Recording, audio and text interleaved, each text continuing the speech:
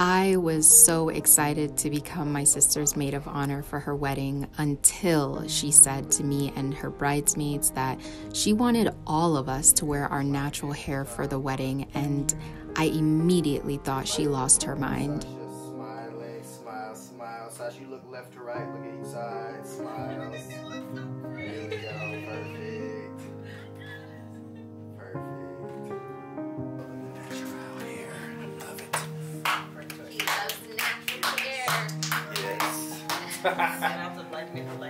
Thank you. Even though we got so many compliments that day on our hair, I still really struggled with it.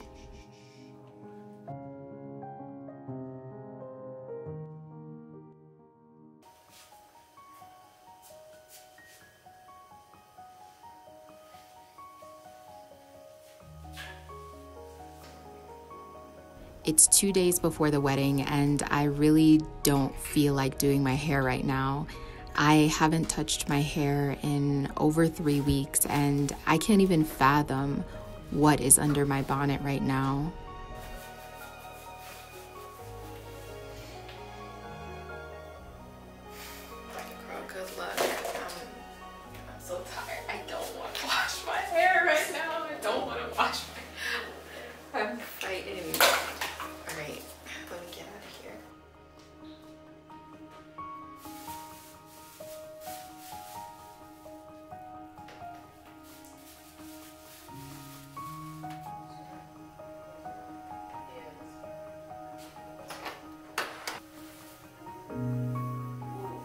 If I'm being honest with myself, the real reason why I didn't want to wear my natural hair for the wedding was because I just felt like it was a lot of work, and it definitely forced me to confront the fact that I had not been taking care of my hair for months.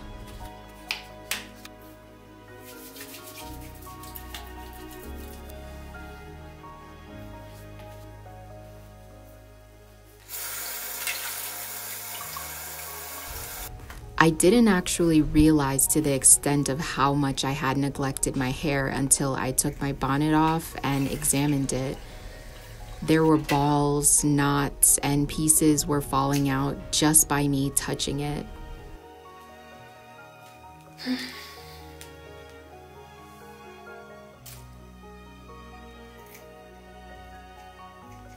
I haven't seen my hair this short since high school.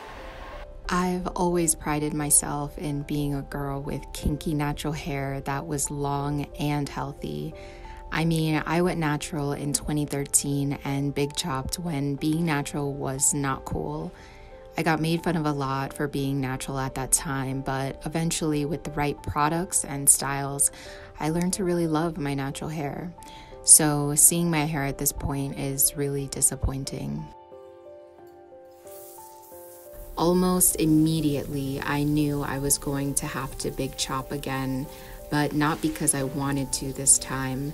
And I've big chopped at least two or three times before in my natural hair journey.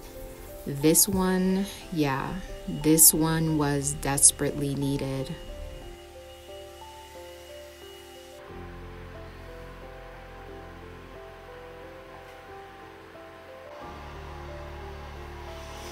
Time is it?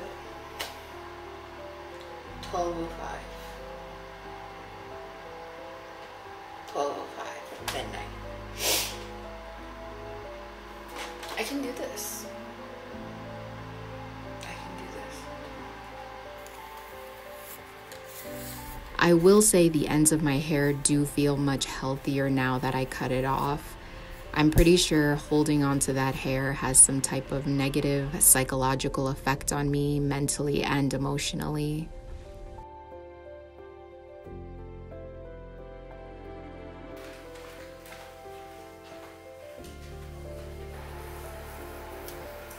Initially, when my sister had the idea for all of us to wear our natural hair, I greatly objected. I offered solutions like what about wig caps? What about sew ins? What about wigs that looked like natural hair? She was not having it though. It was like there was nothing I could do to sway her mind. Twist outs, braid outs, flexi rods, all of it for her was and is formal enough. So here we are.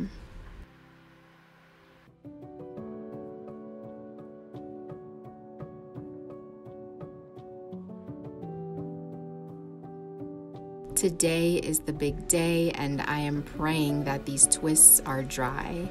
I started recently feeling that when black women wear their natural hair in formal or professional environments, it's understood as such a resistance against texturism and our society's beauty standards.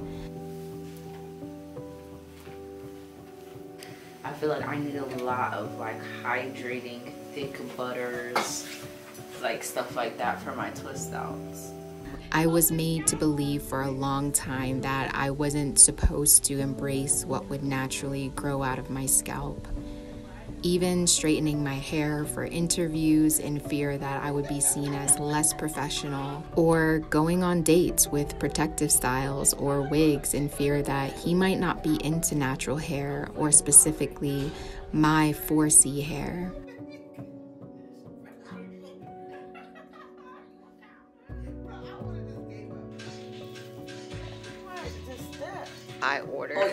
Yes, he's saying apple pie order. You know, in the English is immediately. My dad says immediately. immediately. I'll be like, all right, dad. And I'm quick to get on my dad too because, like, let me let me say a, a, a Creole word wrong. Oh yeah, he'll come Uh. and get on you. Pin yours? I think so, because the shape is weird. It's that brush.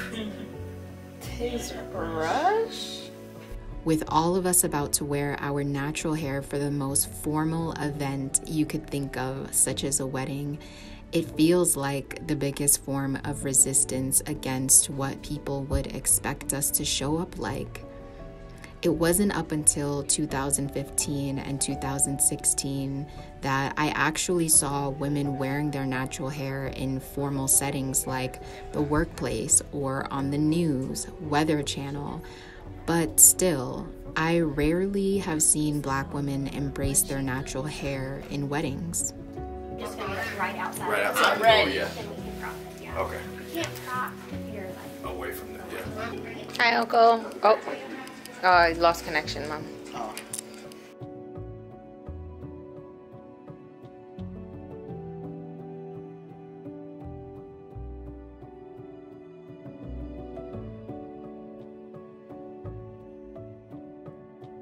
It'll, it'll be um, him getting her, but when the daughter is born, that's his favorite. My dad is Yeah. crazy. Ooh, definition, Sasha. Definition. It's gonna come together, y'all. Yeah. Even my people were surprised to see that we were wearing our natural hair during the wedding. Thank you. My big old eyes, like what is that? Your daddy did a nice speech yesterday, Sasha. We were complimented and commended. Some of it felt genuine, and some of it felt like, oh, that's cute. Couldn't be me at my wedding though. And I'm not gonna lie, I'm right there with them.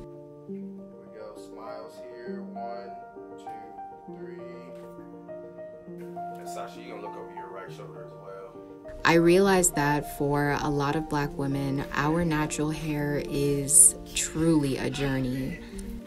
Look back. Six weeks. That's what's in the contract, right? Some parts of our journey might look like wearing a bust down 30 inch with a middle part, and other times I love my natural hair and I'm experimenting with different kind of styles that look good on me. Sasha, just take one step back. Sorry. Take one step back. Cute. There, um, Becky's assistant was looking for you. But it really is a journey and it looks different in each season.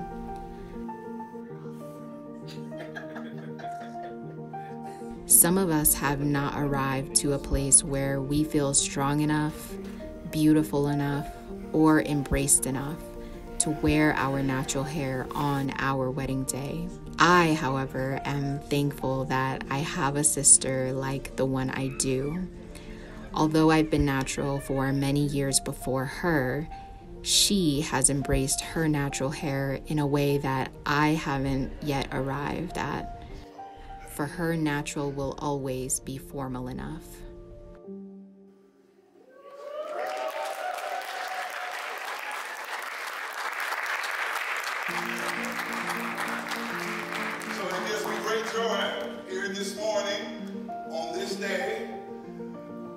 introduce to you for the first time.